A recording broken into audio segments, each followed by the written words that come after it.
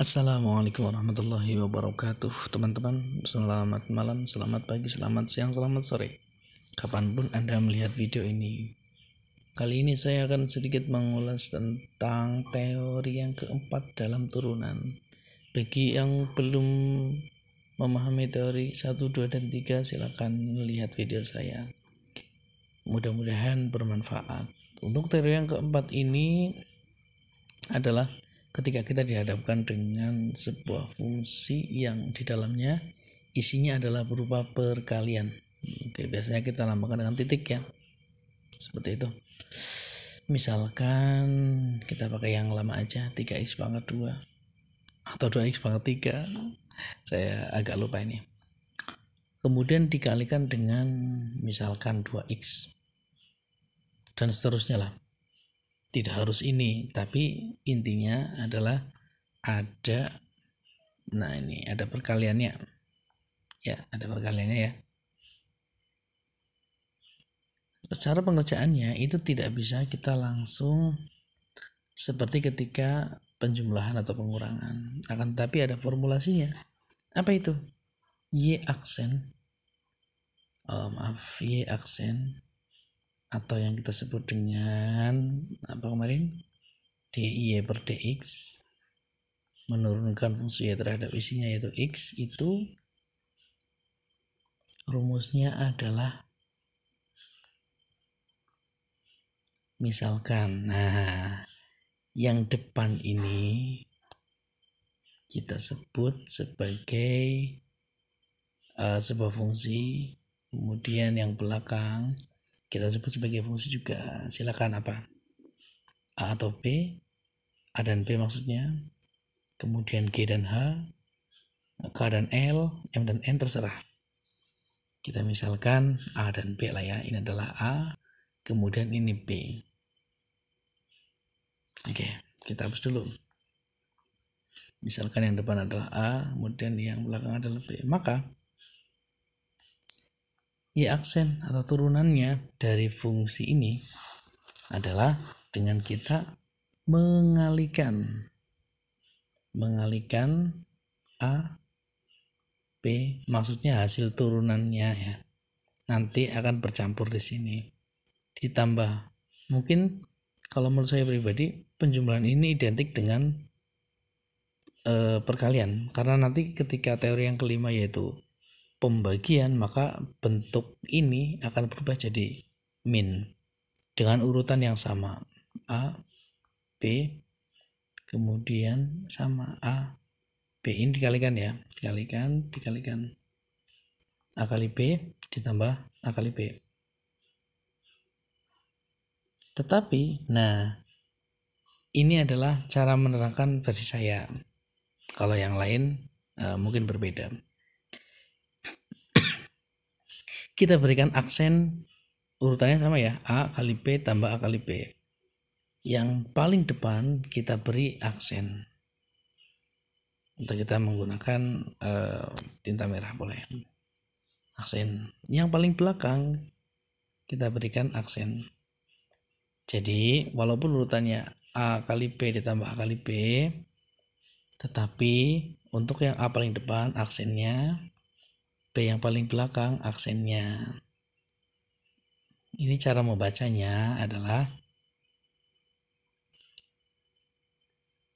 hasil dari turunan Y ini yang seperti ini yang perkalian adalah kita cari dulu hasil turunannya A kalikan dengan B yaitu ini. Kemudian ditambahkan dengan A, yaitu ini, dikalikan dengan hasil turunannya B, yaitu ini. Jadi kita harus menurunkan eh, duanya. Itu, ini kita turunkan. Oh maaf, um, ini. Ini kita turunkan. Ini juga kita turunkan. Berapa hasilnya? sesuai dengan teorema 1, 2, atau 3 maka yang sebelah sini hasilnya adalah 6x betul ya Oke, kemudian yang sebelah sini hasilnya dua kali satu dua. Nah, jelas? Saya yakin cukup jelas. Kemudian ya langsung saja kita kerjakan hasilnya di sini. Nah, teorema yang ini yang merupakan teorema yang keempat untuk perkalian adalah kita baca lagi hasil turunannya A dikali B ditambah A dikali hasil turunannya B. Hasil turunannya A mana? Ini. B mana? Ini. A mana ini. Hasil turunannya B mana? Ini. Langsung aja kita kalikan. Yuk. A aksen. Berarti 6 X dikali B. B nya berarti 2X ya kan? Ditambah A. 3X pangkat 2 dikali B aksen dikali 2 nah eh maaf. Kali 2 hasilnya? 6x dikali 2x adalah 12 x pangkat 2 ditambah ya.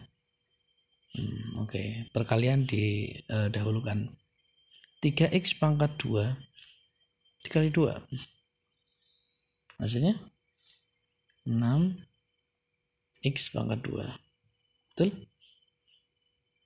Oke semuanya hasil perpangkatannya adalah kebetulan adalah 2 jadi kita bisa eh, sederhanakan menjadi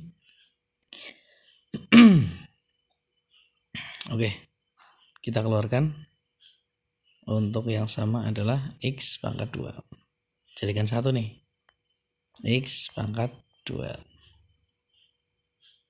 kemudian yang depannya kita jumlahkan. 12 ditambah 6 hasilnya? 18 wah selesai. Ini adalah teori yang keempat kesimpulannya.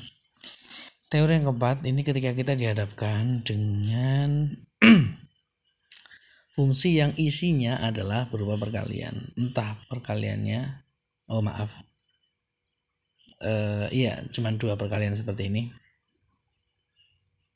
Untuk masing-masing ruasnya itu mempunyai x sehingga nanti kita bisa turunkan y terhadap x-nya. Teorinya kalau ada seperti ini hasilnya adalah kita urutkan A kali B ditambah A kali B. Gampang kan menghafalkannya? Nah setelah kita paham A kali B tambah A kali B kita beri aksen untuk yang depan dan belakang. Ingat jangan sampai salah. Nah, setelah itu ya kita kerjakan. Seperti ini mengerjakannya. Sampai ditemukan hasil yang sederhana. Oke, seperti itu. Kalian bisa membuat contoh-contoh sendiri yang sesuai dengan uh, apa yang kita kerjakan di teori yang keempat ini. Sekian dulu. Sepertinya terlalu panjang videonya. Assalamualaikum warahmatullahi wabarakatuh